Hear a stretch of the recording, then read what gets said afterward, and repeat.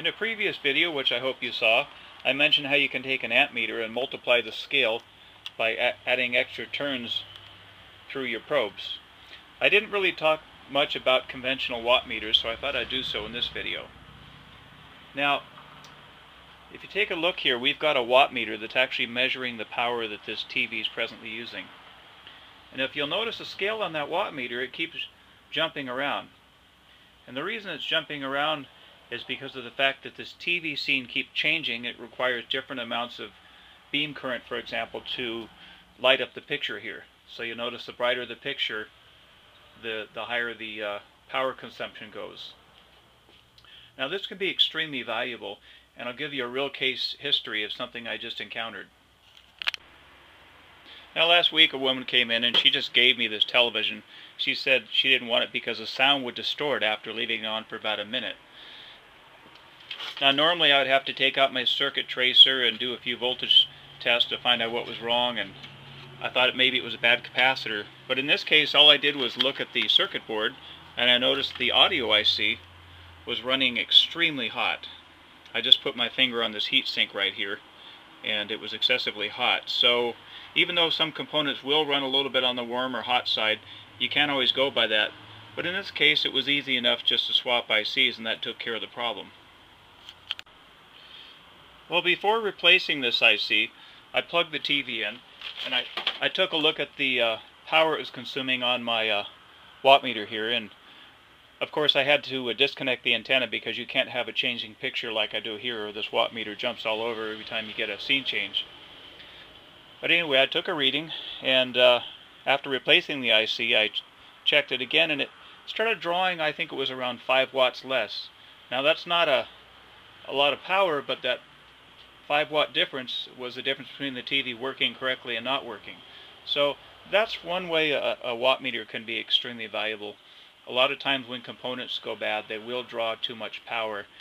And it's it's nice if you have uh, you know something you can actually monitor the power you're using.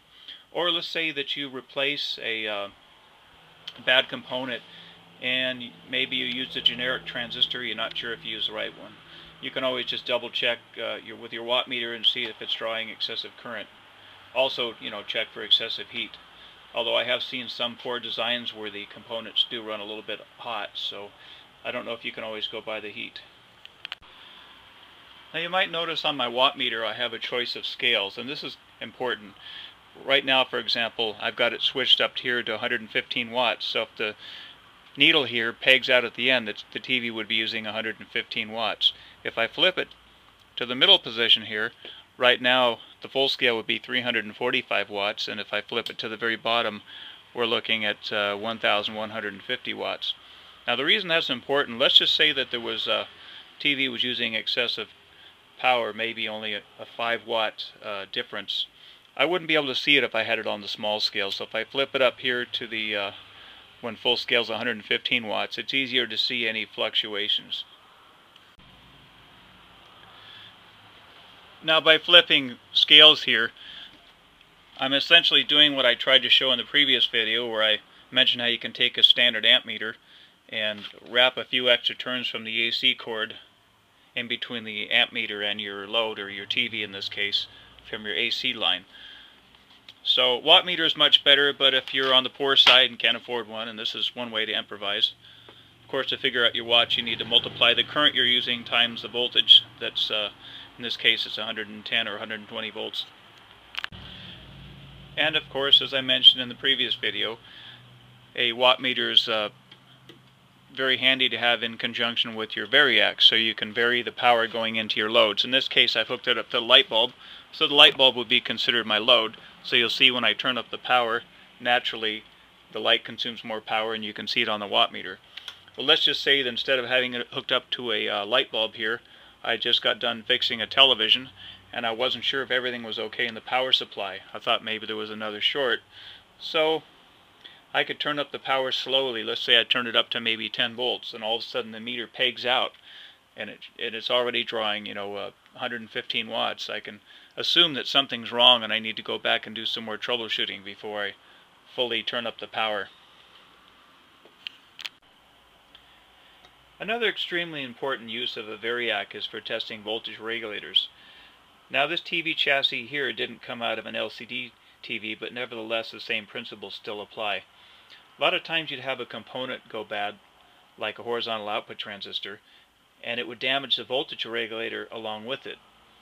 And the way you test the voltage regulator is by hooking your meter up to the output side of the voltage regulator while slowly turning up your power on your variac to see if the voltage regulator regulates the voltage as it's supposed to. For example, I might turn this be uh, between 90 and 120 um, volts and I shouldn't see much change on my meter. My meter should stay constant at let's say 130 volts. But if I see it's jumping all over, it's jumping down to 90 volts and you know back up to 130 or maybe even a little more, I know that something's wrong.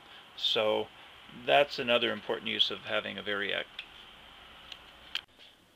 In this video I want to talk about something you want to seriously consider when working on any electronic equipment.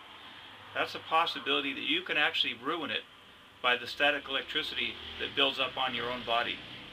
Now I've been hearing for years that it's a good idea to wear a ground strap when you're working on electronic equipment and I've never taken it all that serious until the other day I got up out of my chair and touched something and blew out a component.